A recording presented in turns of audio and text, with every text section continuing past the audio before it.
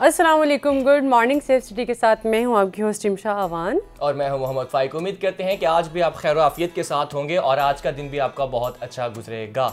रिमशा आज प्रोग्राम में हमेशा की तरह खबरें भी होंगी और कुछ हम बात करेंगे स्पेशली आज कोरोना वायरस के हवाले से। पहले ये दूसरे ममालिक में पाया जाता था लेकिन अब ये पाकिस्तान में दाखिल हो चुका है और काफ़ी खौफ हरास फैला हुआ है इस हवाले से। लेकिन हमें डरने की ज़रूरत नहीं है बल्कि हमें इससे लड़ना है। और इस हवाले से आज हमने बात करने के लिए प्रोग्राम में दावत दी है डॉक्टर साहब को डॉक्टर आतिफ मजीद चौधरी साहब जो कि मेडिकल स्पेशलिस्ट भी हैं और इस वक्त सर्विसेज़ हॉस्पिटल में सर्व कर रहे हैं। और कोरोना वायरस की कौन कौन सी एहतियाती तदाबीर हैं और कोरोना वायरस से कैसे बचा जा सकता है इस बार इस बारे में आज हम इनसे बात करेंगे। अस्सलाम वालेकुम डॉक्टर साहब कैसे हैं वालेकुम सलाम। सबसे पहले आपको वेलकम कहते हैं शो में। सबसे पहले हमें ये बताइए कि कोरोना वायरस की क्या वजूहत हैं? देखिए वजूहत, एक तो ये मैं बताता चलूँ, कोरोना वायरस है क्या? ये एक वायरस की एक फैमिली है, जिसके अंदर डिफरेंट डिफरेंट वायरसेस हैं, जो कि आप देखेंगे पहले भी इंसान को अफेक्ट करते रहे हैं। इसके जो डिफरेंट केसेस 2000 के अंदर 2009 के अंदर 2011 के अंदर मिडिल ईस्ट के अंदर और यूरोप के अंदर मलाइशिया के अंदर आ चुके हैं। लेकिन ये जो स्ट्रेन है, जिसे हम सेकेंड म्यूटेशन स्ट्रेन भी कहते हैं, ये कुछ अपनी फैमिली से हट के स्ट्रेन है। जैसे मैं आपको मिसाल देता हूँ कि आपकी फैमिली में अगर पाँच लोग हैं लेकिन पाँच के पाँच लोग एक ही फैमिली से बिलोंग करते हैं लेकिन उनके डिफरेंट नाम हैं और वो डिफरेंट उनकी खसूसियात है कोई डॉक्टर हो सकता है कोई इंजीनियर हो सकता है कोई उनके डिफरेंट प्रोफेशन तो ये एक ही फैमिली के वायरसेस हैं जो डिफरेंट एक्ट करते हैं। ये जो उनका मेंबर है इस फैमिली का कोरोना फैमिली का ये बहुत ज़्यादा ख़तरनाक साबित हुआ है। और इसके ऊपर पहले कोई रिसर्च भी नहीं थी और इसके ऊपर पहले कोई डाटा भी मौजूद नहीं था।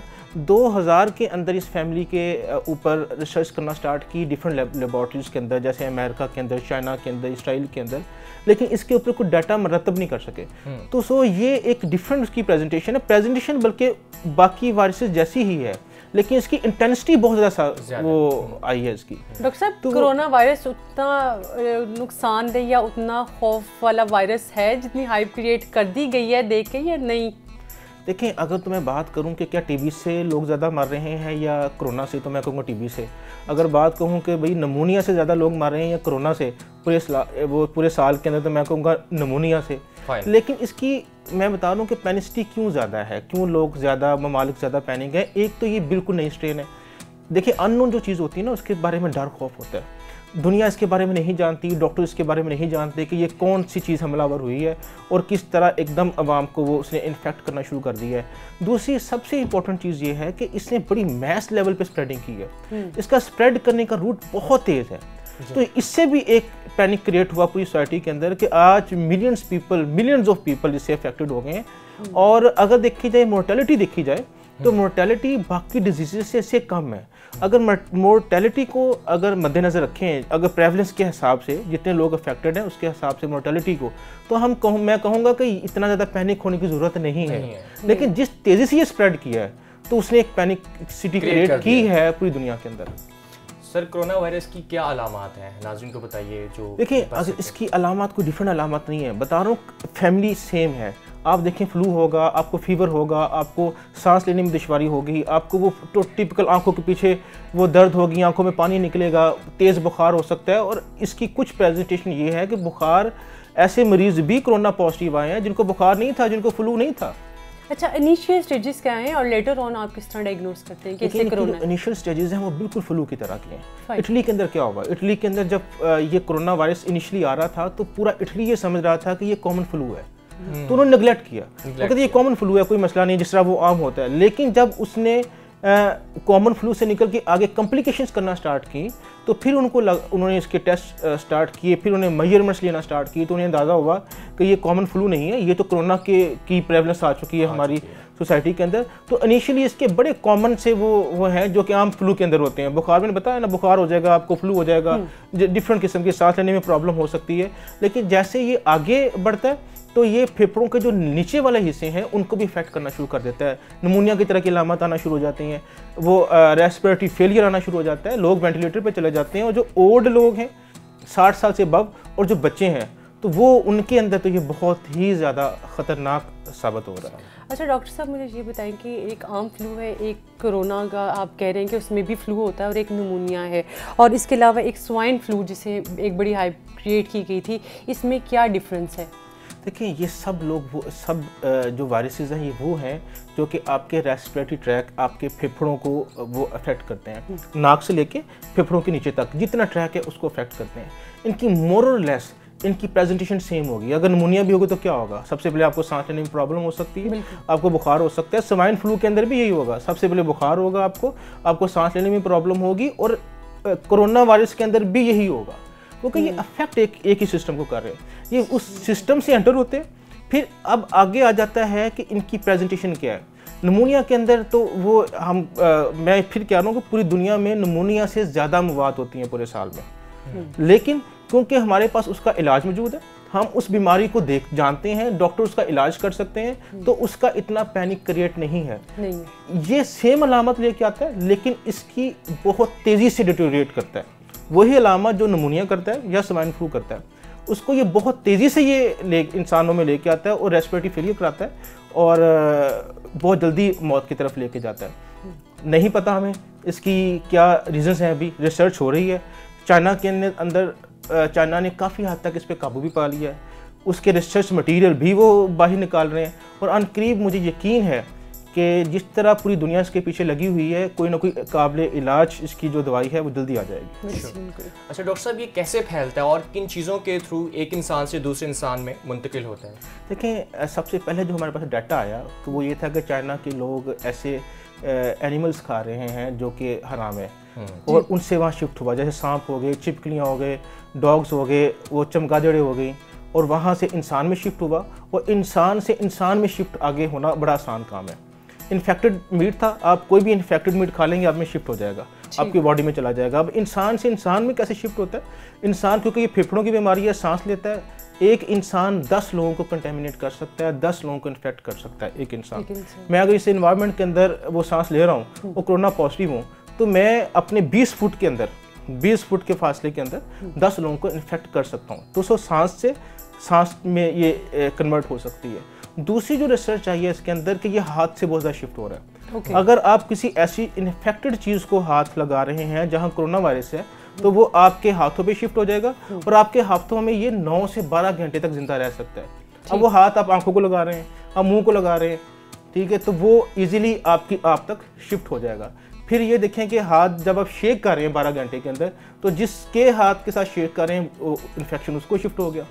तो आप यूरोप के अंदर अमेरिका के अंदर और ये ये गाइडेंस दी गई हैं कब हैंड शेकिंग के ऊपर वो पाबंदी लगा दी गई है कि आपने हैंड शेक नहीं करना दूर दूर से सलाम करना है। बजाय इसके कि पाकिस्तानियों को भी चाहिए हम्म। कि अभी सलाम दूर दूर से करना स्टार्ट कर दें। इसके बाद में बाकायदा गाइडलाइन देनी पड़े कि भाई आप हैंड शेक ना करें। अच्छा डॉक्टर साहब मुझे बताएँ कि किस एज ग्रुप को ये ज़्यादा इफ़ेक्ट कर रहा है? देखिए इसका बहुत ज़्यादा ताल्लुक किसी भी वायरस का बहुत ज़्यादा ताल्लुक आपकी कुत मदाफ़त से होता है। जी। और कुत मदाफ़त दो में बड़ी कम होती है एक बूढ़ों के अंदर एक बच्चों के अंदर और तीसरा बीमारों के अंदर। तो आप देखें कि इसकी अबव जो सिक्सटी ईयर है इसके मोर्टलिटी रेट सेवन परसेंट से ट्वेल्व परसेंट है। लेकिन चालीस साल से कम इसका मोर्टलिटी रेट है पॉइंट ज़ीरो टू परसेंट और बच्चों के अंदर भी इसका मोर्टलिटी रेट बढ़ के सिक्स परसेंट चला जाता है। सो जिनके अंदर कुत मदाफ़त कम है हम्म। चाहे वो बच्चे हैं चाहे बूढ़े हैं या बीमार हैं उनको ये बहुत ज़्यादा ज़्यादा अफेक्ट कर रहा है और उनकी अमवात ज़्यादा हुई हैं। और जो जवान हैं जिनके अंदर कुत मदाफ़त ज़्यादा है तो वो इससे कम इफ़ेक्ट हुए हैं। डॉक्टर साहब कुत मदाफ़त बढ़ाने के लिए हमें क्या करना चाहिए? देखिए कुत मदाफ़त एक बड़े जनरल से टर्म है। कुत मदाफ़त बेसिकली होती क्या है? आपकी अपनी बॉडी की ताकत जो वो बीमारियों से लड़ता है लड़ती है।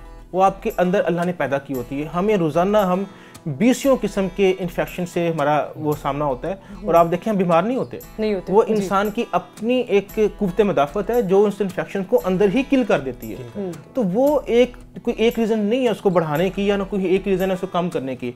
इसके लिए आपको अच्छी खुराक खानी है। अच्छा। आपको रेस्ट प्रॉपर रेस्ट करनी है। ओवर वर्कड ना हो। आपकी स्ट्रेस आपका ओवर वर्क आपकी कुत मदाफ़त को बहुत ज़्यादा अफेक्ट करता है। ठीक है? और अगर आप बीमार हैं किसी भी तरह की बीमारी है तो वो भी आपकी कुत मदाफ़त कम करती है। तो कोशिश करें कि उस बीमारी से जल्दी फाइट करें और बाहर निकलें। और जो बूढ़े हैं और बच्चे हैं हम्म। उनकी हेल्थ का ख्याल ज़्यादा से ज़्यादा रखें।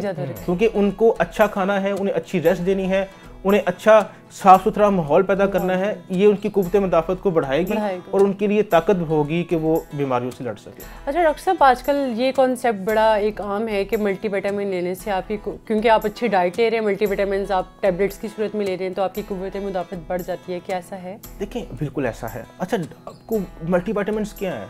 आपकी बॉडी के एसेंशियल्स हैं ना जो आप बाहर से ले रहे हैं। आप मल्टीविटामिन गोली की फार्म में ले लें आप मल्टीविटामिन खुराक की फार्म में ले रहे हैं।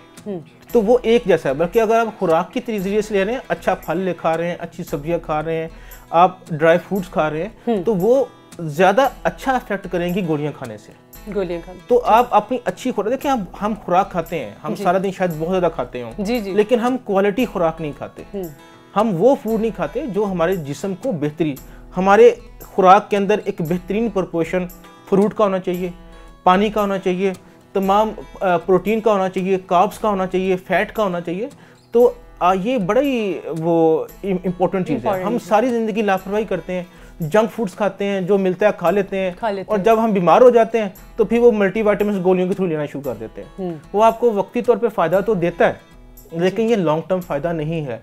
बेहतरीन फ़ायदा है कि आप अपनी खुराक अच्छी मेंटेन करें और अपनी खुराक के तमाम पोर्शन बनाएँ।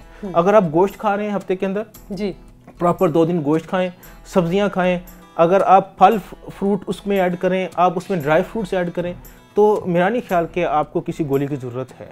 अच्छा डॉक्टर साहब अगर कोरोना वायरस हो जाता है तो इसका इलाज कैसे मुमकिन है? और इसके साथ साथ एक सेल्फ आइसोलेशन का वर्ड इस्तेमाल किया जाता है इसका क्या मतलब है?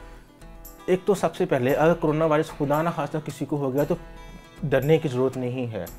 सौ में से पाँच लोगों की डेथ हो रही है नाइन्टी फाइव लोग परसेंट लोग ठीक हो रहे हैं। तो इसका मतलब है कि इन हजीज़ ये अल्लाह ताला से उम्मीद रखें कि वो बंदा 95 परसेंट लोगों में ही होगा पाँच परसेंट लोगों में नहीं होगा। Number one number two isolation में उसका जाना बड़ा ज़रूरी है ताकि वो दूसरों को इन्फेक्ट ना करें।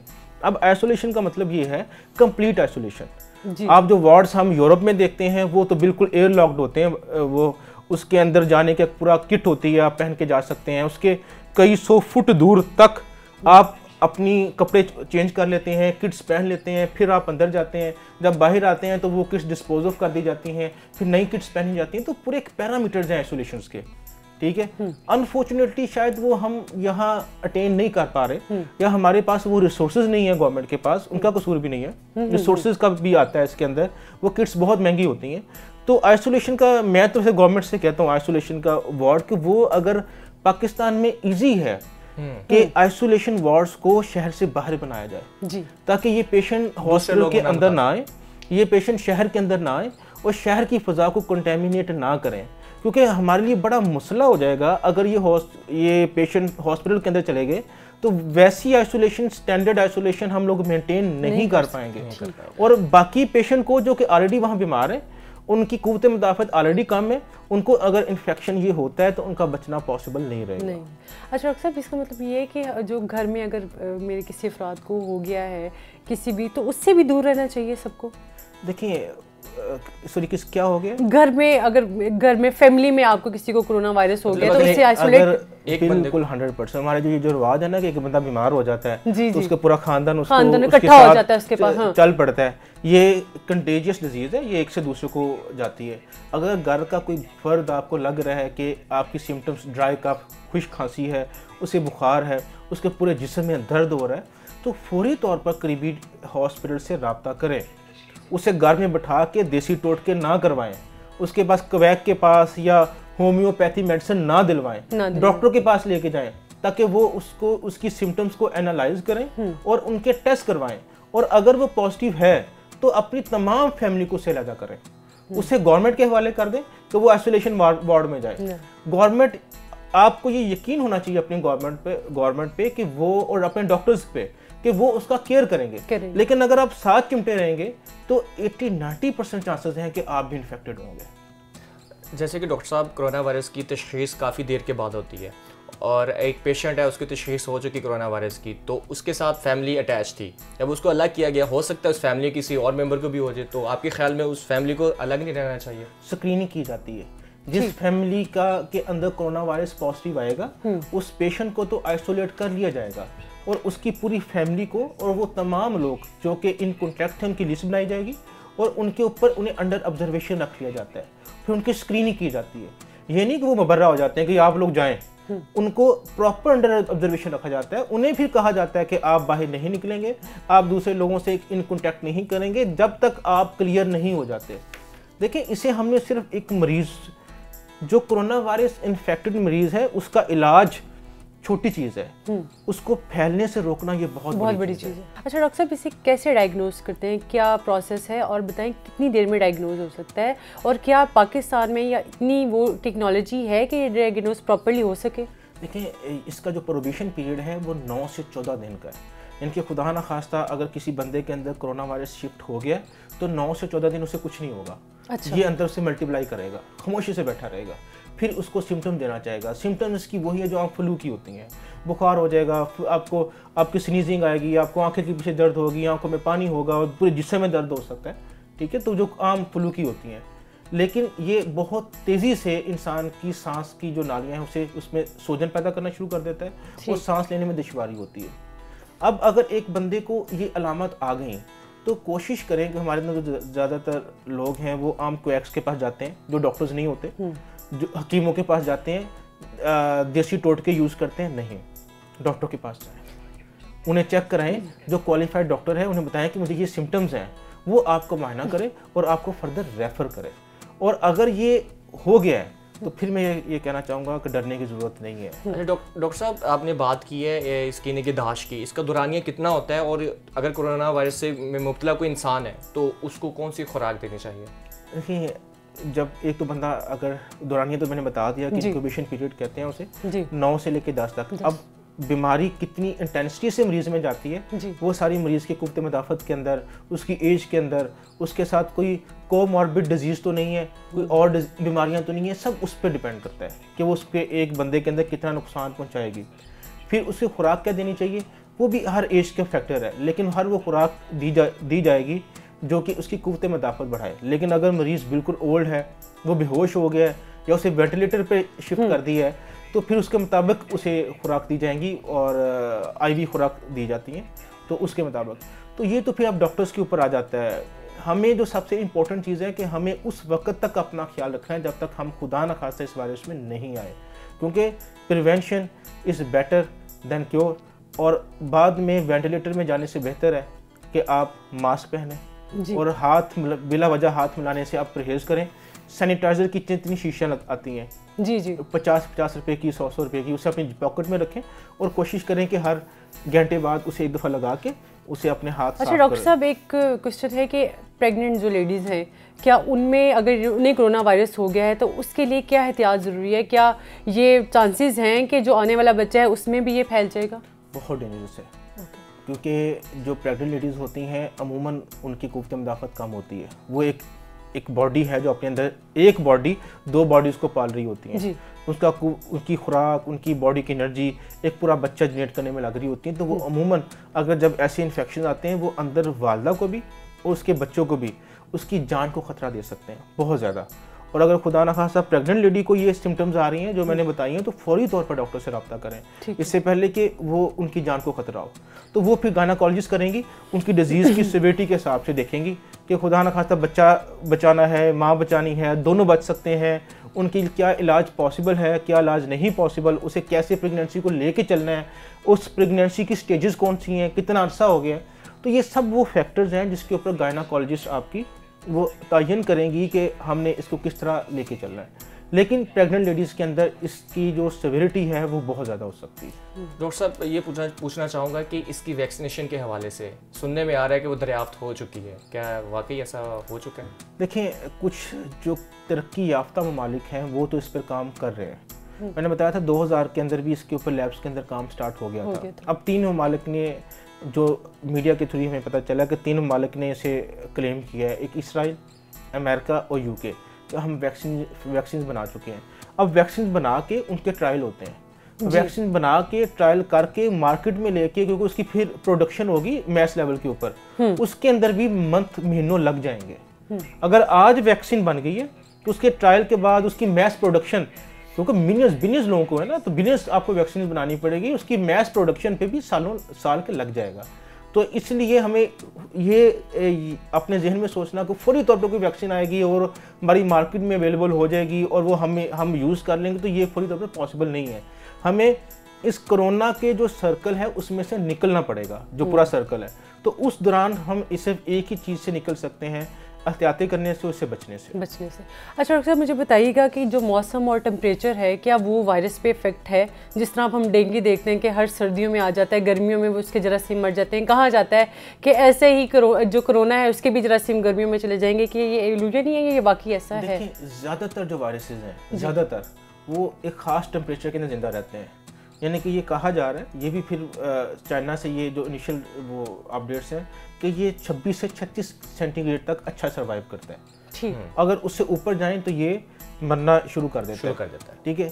तमाम वायरसेज ऐसे करते हैं। आप देखें डेंगू का वायरसेस और वो कुछ ऐसे वायरसेज हैं जो गर्मियों में आना शुरू हो जाते हैं। देखें आप गर्मियों में आएँगे तो हैज़ा की वबा बहुत ज़्यादा फैल जाती है। वो गर्मियों में हाई टेम्परेचर में एग्जिस्ट करते हैं। वो जैसे सर्दियाँ आएँगी ख़त्म हो जाएँगी। तो हम उम्मीद करते हैं कि जब टेम्परेचर या गर्मियाँ आए तो ये वायरस मर जाए। लेकिन मैं बता दूँ ये गारंटी नहीं है।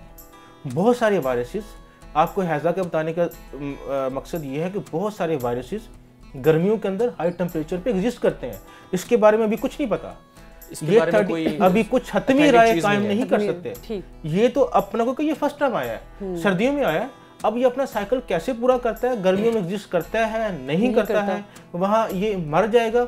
इसके ऊपर हम अपनी इनिशियल राय तो कायम कर सकते हैं। हतमी राय तभी कायम करेंगे जब इसके ऊपर वाक्यतन अफेक्ट होगा।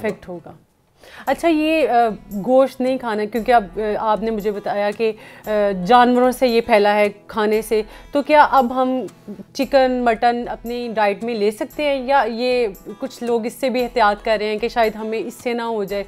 तो आप इसके बारे में गाइड कीजिएगा। देखिए बिल्कुल ले सकते हैं अच्छा। लेकिन आप अच्छी तरीके से पकाएँ उन्हें।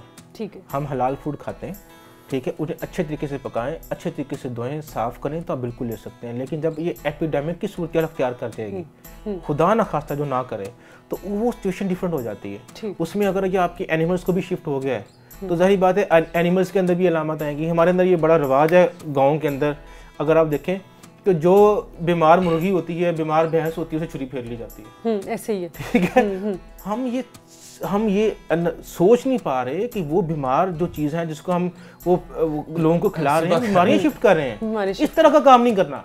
जी। क्योंकि जिस तरह इंसानों में अलामत होती हैं जानवरों के अंदर भी अलामत होती हैं। तो ये जो घरों में पेट्स रखे होते हैं कुत्ते या बिल्लियाँ और इस तरह की ये वाली बात कि जो भी मैं मेरे घर में खुद पेट्स हैं जी। तो बड़ा क्लियर कट मुझे पता चल जाता है कि मेरे पेट्स बीमार हैं। बीमार है। ठीक है वो खाना छोड़ देते हैं तो उस टाइम उसे आइसोलेट करें। हम्म। डॉक्टर के पास लेके जाएँ। लेके जाएँ। ठीक है और उन्हें उनका उन्हें चेक करवाएँ कि नहीं क्या मसला है। हम्म। ठीक है अगर वो देखिए जो चीज़ घर के अंदर या फैमिली के अंदर है उसकी हैबिट्स के अंदर चेंजेस में आपको पता चल जाता है कि ये बीमार है। और खुदा ना खासा पाकिस्तान के अंदर अभी एपिडेमिक की सूरत हाल नहीं, नहीं, नहीं है। तो हम कहेंगे जानवरों को भी शिफ्ट हो जाएगा हर एक को शिफ्ट हो जाएगा। जी जी। लेकिन हमें एहतियातें करनी है। ये तमाम कसाई बरदरान से मेरा ये रिक्वेस्ट है कि बीमार चीज़ें ना खिलाएँ। ये बहुत मुर्दा आप पिछले दिनों आई आपको पता है कि गवर्नमेंट ऑफ़ पंजाब ने कोई बीस पच्चीस हज़ार मुर्दा मुर्गियाँ पकड़ी हैं जो कि हम्म। शवारमे वालों को होटल्स को शिफ्ट की जा रही है। देखिए ये तो आम इंसान को मारने वाली बात है। हमें नहीं पता वो किससे मरी हैं। हमें नहीं पता कि वो वायरस से मरी हैं उनका क्या तरीका है तो वो बीमारी को दूसरे में शिफ्ट करने वाली बात है। हम्म। डॉक्टर साहब लोगों का ख्याल होता है कि जब ये खाना बनाएँगे कुक होगा तो ये इसमें जर्म्स खत्म हो जाएँगे। क्योंकि तो गर्म हो जाएगा एक बहुत ज़्यादा टेम्परेचर पे तो बात तो ठीक है? जनरली बात ठीक है लेकिन फिर ये कहना है कि सारे नहीं होते। अच्छा। एक बॉइलिंग पॉइंट होते हैं हाँ, बहुत सारे वायरसेस ऐसे हैं जो बॉइलिंग पॉइंट के ऊपर एग्जिस्ट करते हैं। मैं फिर कहा कि इसके बारे में हतमी राय अभी कायम नहीं, नहीं की जा सकती। लेकिन अगर अगर ये उस बॉइलिंग पॉइंट पे डेथ होती है कि नहीं होते ऐसे वायरसेस भी हैं जो कि बॉइलिंग पॉइंट से बहुत ऊपर भी एग्जिस्ट करते हैं। तो वो इसका हल ये है ये डेफिनेटली जो भी खाना बनाएँ उसे प्रॉपर साफ़ करके अच्छे तरीके से उबाल के खाएँ ये एक अच्छी एहतियात है जो हमेशा करनी चाहिए। लेकिन हम लोगों को ये देख लेना है कि गोश्त साफ़ है कहीं मुर्दा जानवर का तो नहीं लिया गया क्या हम क्रेडिबल जगह से ले रहे हैं जहाँ हमें ये प्रॉब्लम ना हो कि बीमार गोश्त दे दिया गया। ठीक है? क्योंकि वो जो बीमार वाला गोश्त है वो बीमारी उसके अंदर तो एग्जिस्ट करती है। हम्म। और इस वायरस की क्या अपना क्या बिहेवियर करता है इंसान के साथ इसका क्या एटीट्यूड होता है ये एक साल लगेगा इसको। ठीक। ये देखते हुए रिसर्च करने में रिसर्च करते हुए कि इसके डिफरेंट डिफरेंट मौसमों में डिफरेंट मुल्कों में इसका क्या बिहेवियर है। हम्म। जैसे मैंने बताया कि बड़ा कॉमनली होता है कि जो कोरोना वायरस वाले लोग आ रहे हैं वो बीमार बुखार के साथ आते हैं। या उन्हें फ्लू होता है। जबकि इटली के अंदर ऐसे लोग भी हैं जिनको ना बुखार था ना फ्लू था। लेकिन वो और वो कोरोना पॉजिटिव निकल आए तो हर इंसान के अंदर ये डिफरेंट तरीके से एक्ट करता है। करते हैं। तो हमें एहतियात करनी है। Thank you so much doctor साहब। आपने अपना कीमती वक्त दिया। एहतियात इलाज से बेहतर है नाजरीन। और कुछ प्रिकॉशनरी मेजरमेंट्स जो हैं मैं आपको बताती चलूँ कि आपने सोशल डिस्टेंस मेंटेन करना है। कम से कम लोगों से मिले। पंजाब हुकूमत ने एक बहुत बड़ा इकदाम लिया है। तमाम जो स्कूल हैं और दूसरे तलीमी इदारे, बंद कर दिए जाए कर दिए गए हैं बल्कि और शादी हॉल भी मैंने कहा है कि वो भी बंद कर बंद कर दिए गए हैं या बंद कर दिए जाएँगे। आपने मेंटेन सोशल डिस्टेंस कम से कम रखना है कम से कम हाथ मिलाना है एक दूसरे से मास्क पहन के रखना है। और दूसरी ये बात जो बहुत इंपॉर्टेंट है कि अपने हाथ को ज़्यादा से ज़्यादा नोज़ को टच नहीं करना, अपनी आँखों को टच नहीं करना, अपने मुँह को टच नहीं करना अपने हाथ से। एक तो हाथ धोते रहना है और इसके अलावा कम से कम आपने टच करना है। और दूसरा ये है कि आपने ये जो क्योंकि आपके ये रिस्पिरेटरी सिस्टम को जो है वो बहुत ज़्यादा मुतासर कर रहा है तो उसकी हाइजीन का आपने बहुत ज़्यादा ख्याल रखते हैं। ऐसे फूड्स लें जो कि आपके रेस्पिरेटरी सिस्टम को गुड रखें। एक नीम गर्म पानी लें उसमें थोड़ा सा शहद डाल के पीते रहें ताकि आपको बलगम ना हो। ये फ्लू और ये इस चीज़ से बचे इस चीज़ से पहले एहतियात करें कि आपको ये बीमारी लगे ही ना। और एहतियाती तदाबीर ज़रूर इस्तेमाल करें और कोरोना वायरस से बचिए। आज का हमारा स्पेशल प्रोग्राम करोना वायरस के हवाले से था। नए प्रोग्राम के साथ, नई बातों के साथ, नई खबरों के साथ हाजिर होंगे। तब तक मुझे और रिमशा को दीजिए इजाज़त। अल्लाह के बाद